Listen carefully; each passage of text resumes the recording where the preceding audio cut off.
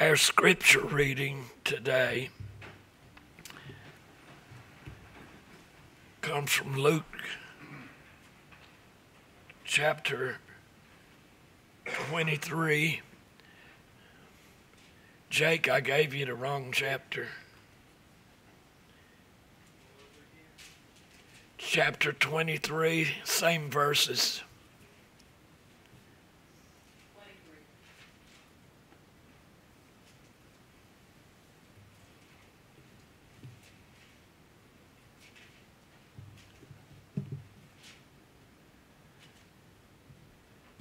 And this has to do with the crucifixion of Christ, but I want you to focus mostly on what it was that Jesus said, which are the last words that he had before he died on the cross.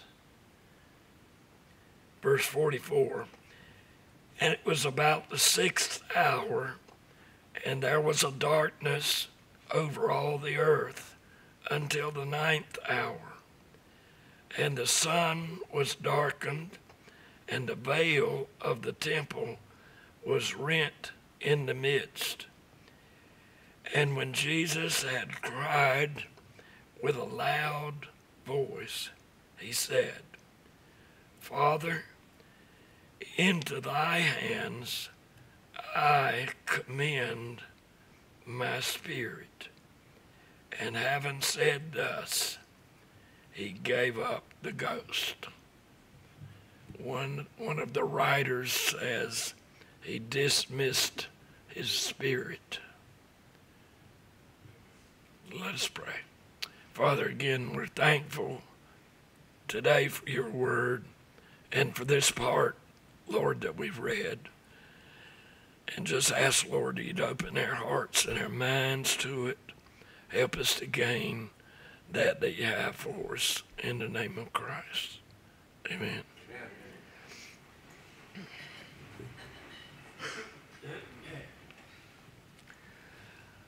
Um, I believe today is the first Sunday in what they call Lent. How many of you are familiar with Lent? Okay.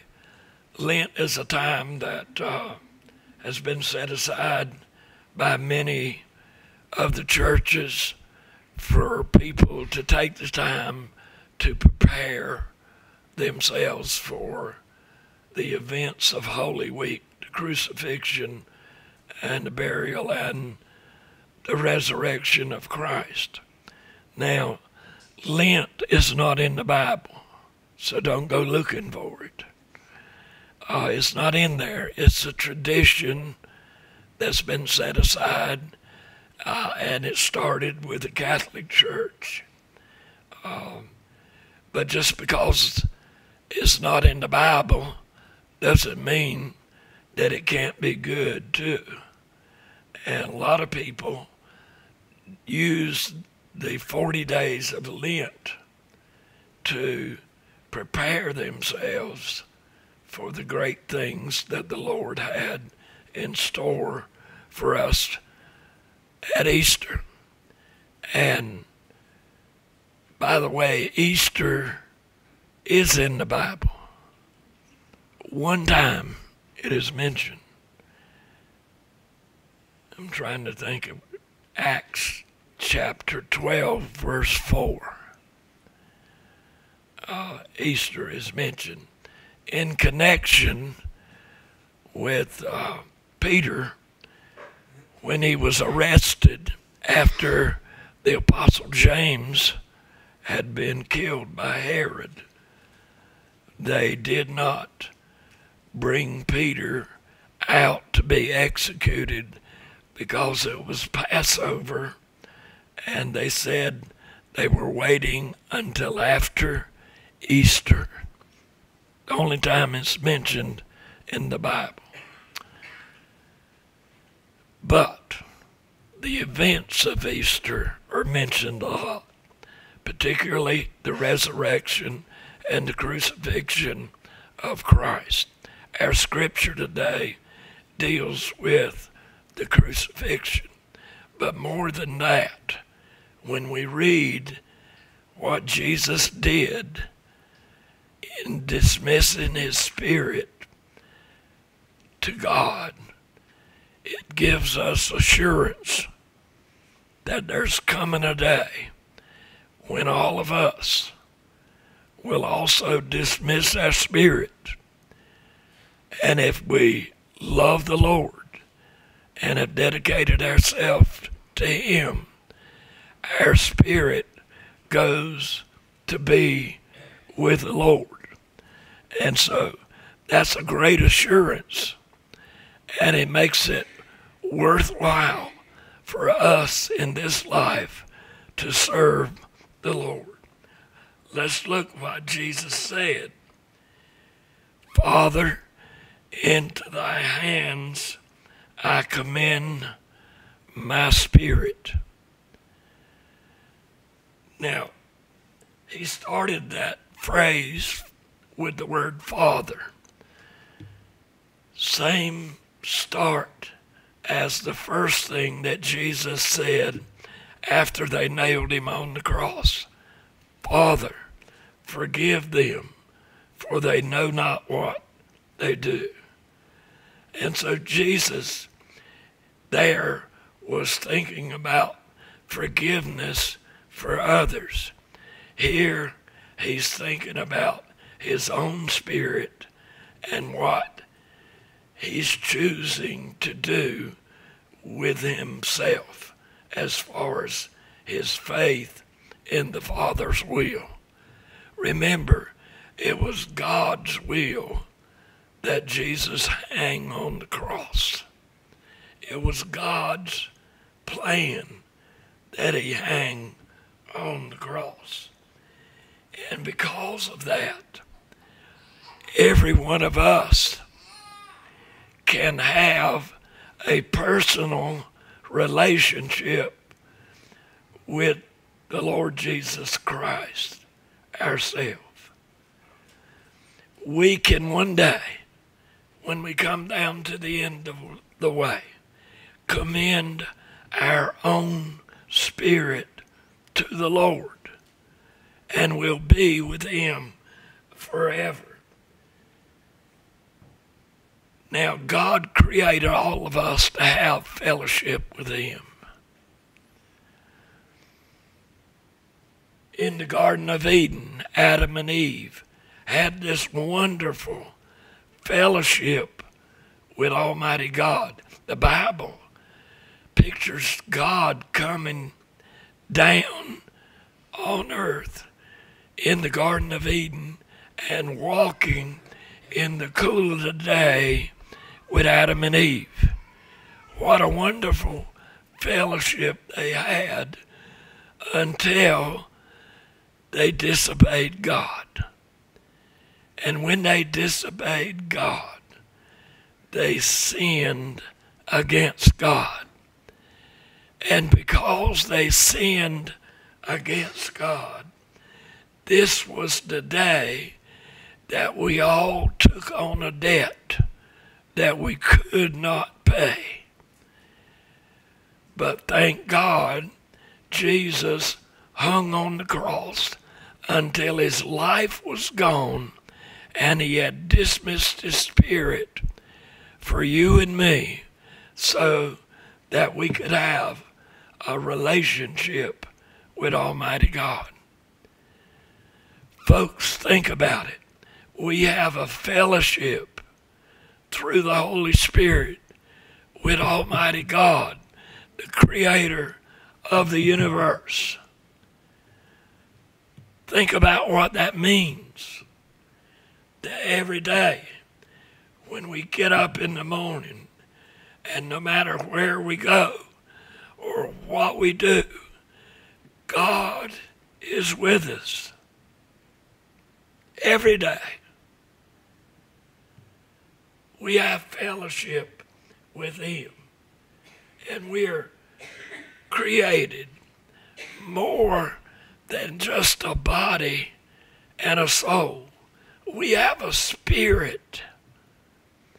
Just like Jesus had a spirit and dismissed his spirit to God.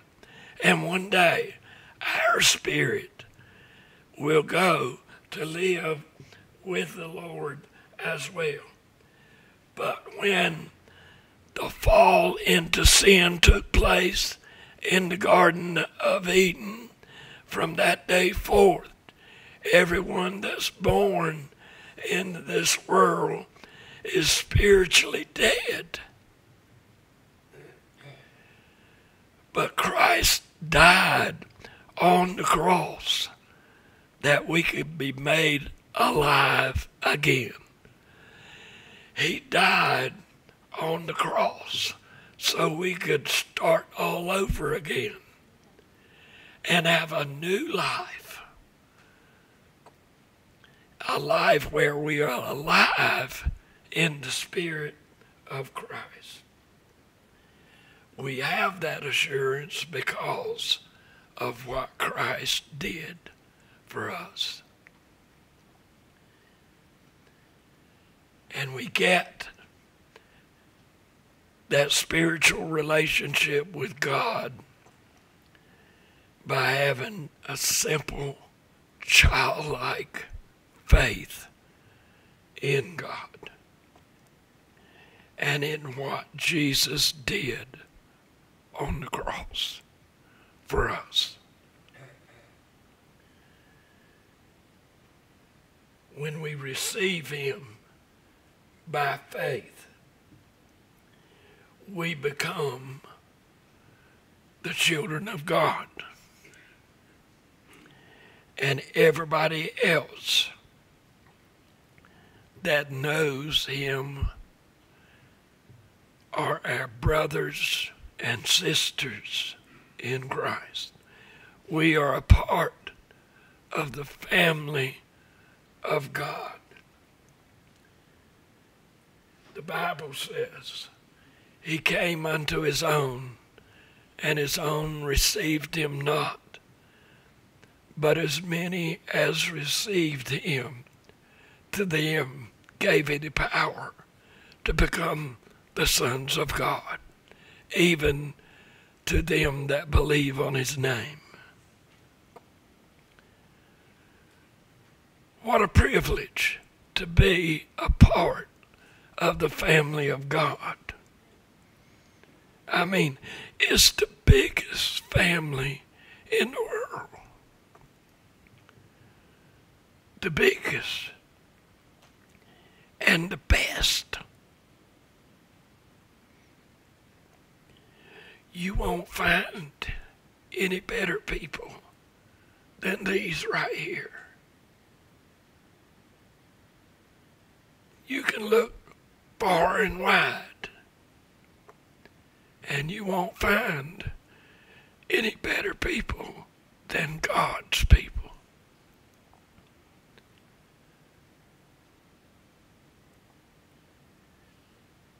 Not only does he adopt us into his family? But he takes care of us day by day. He feeds us day by day. We have a place to live clothes to wear? Paul said, But my God shall supply all of your needs according to his riches and glory by Christ Jesus. We have everything that we need in Christ. I remember a long time ago when I first started preaching, I pre in response to something that someone said to me. You learn to not do that when you get to be an older preacher, but uh, I was a young preacher then and in response to something someone told me, that I would have to, if I was going to be a preacher, I'd have to have seven new suits to wear. And I only had one at the time. And I wore it out. But I preached a sermon called All I Need is Jesus. And when you think about it, He is all we need. You say, wait a minute, we need to eat. Yeah, but He sees that you eat. I need a car to go to work. He sees that you get a car to go to work. There isn't anything you got that He hasn't given you. Okay? So He is really all we need. Our Heavenly Father is rich and He's able to give you everything you need. Now, what I'm talking about here is assurance of a relationship with the Lord and assurance that He's going to take care of you. You can't get this anywhere else or in any other way. It's not possible. People have tried through their own efforts to do what Christ does for us through ceremonies and rituals to be part of the family of God, but it can't happen that way. It can only happen by faith in Christ. Jesus stayed on the cross until it was time. And by the way, he chose the time to dismiss his spirit to God.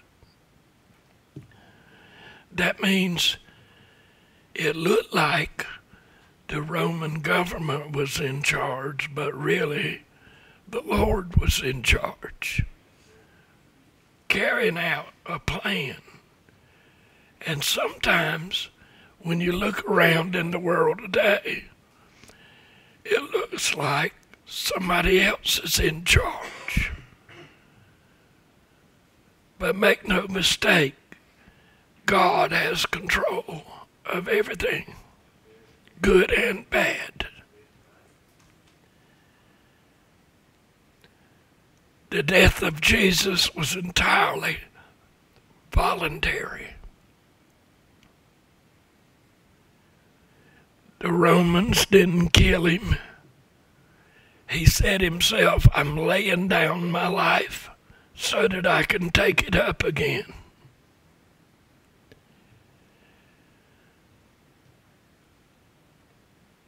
He was completely submitted to his father's will. And his father had a plan. And the plan was for Jesus to make it possible for there to be a kingdom of God, not only on this earth, but a kingdom in heaven as well. And Jesus was part of that plan. He didn't die as a martyr. He died as a Savior. Okay, remember that. A Savior. Your Savior. died for you. He didn't come to this earth just to be a good moral example or to be a great teacher. He came to die. Because that was God's plan. And if you want to go to heaven, you better stick to the plan. Right? God's plan. You ain't going any other way. Because He's in control. He was a substitute for you. You're the one that sinned. I'm the one that sinned. But he took our place so that we wouldn't have to die.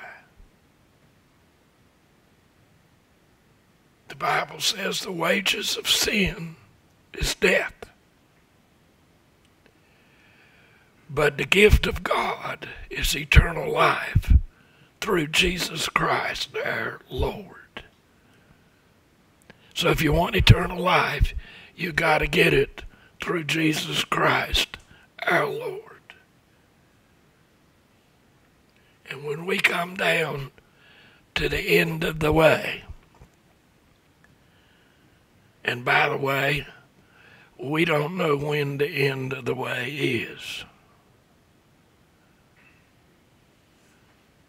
So if we're going to get ready and get right with the Lord, we better do it before the end of the way comes.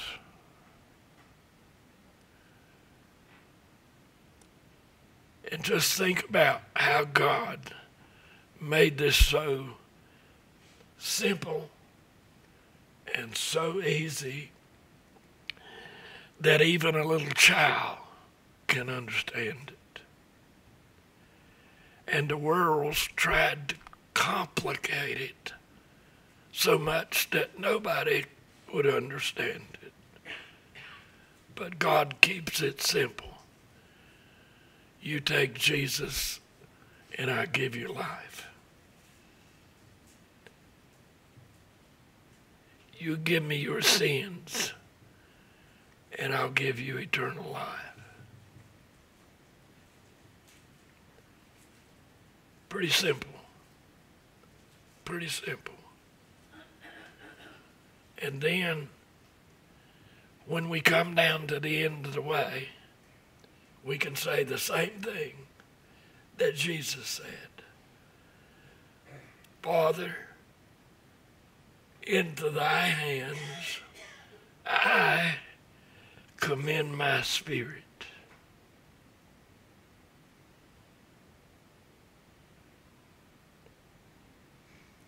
And then you're set for eternity with the Lord.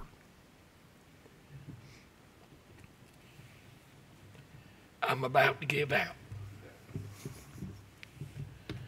But I ain't give up. Let us pray. Father, again, we come this morning thanking you for every blessing of life. We thank you especially as we begin to approach this Easter season for what Jesus did and for your plan of salvation for us all. God, help us to make sure. Help us to have the assurance that we belong to you and that we'll spend an eternity with you. And if there's one here this morning that doesn't know that, we ask, Lord, that you touch their heart today in the name of Christ, our Savior. Amen.